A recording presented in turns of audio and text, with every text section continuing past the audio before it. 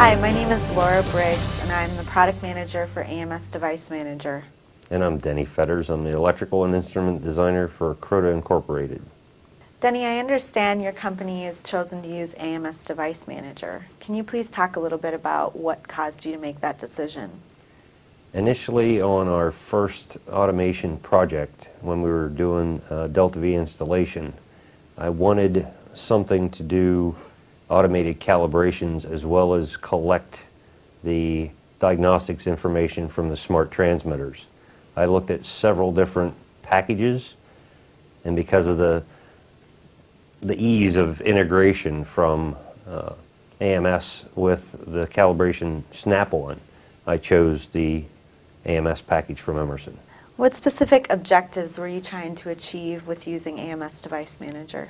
Our AMS package predominantly was geared initially towards calibration management, where we could build routes, upload into a documenting calibrator, carry it into the field, perform the calibrations, bring that device back, upload the data from the calibrator into AMS, and generate the reports without the possibility of the technicians making the manual data entry errors and calculations.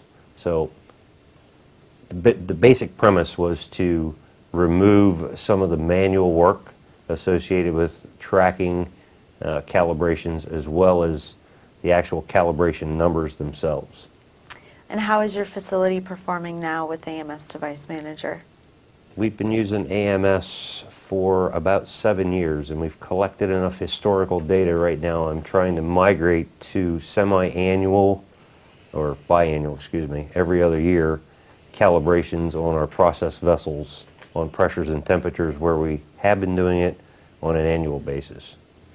And what recommendations do you have for others that might be looking to solve similar problems? The biggest initial problem associated with AMS, if you're not doing green stick installation, is it takes some time to sit down and do the areas, to build the routes, and to populate everything. It's 20 minutes a device to populate all the database information and get the calibration routes created if you're using the calibration manager.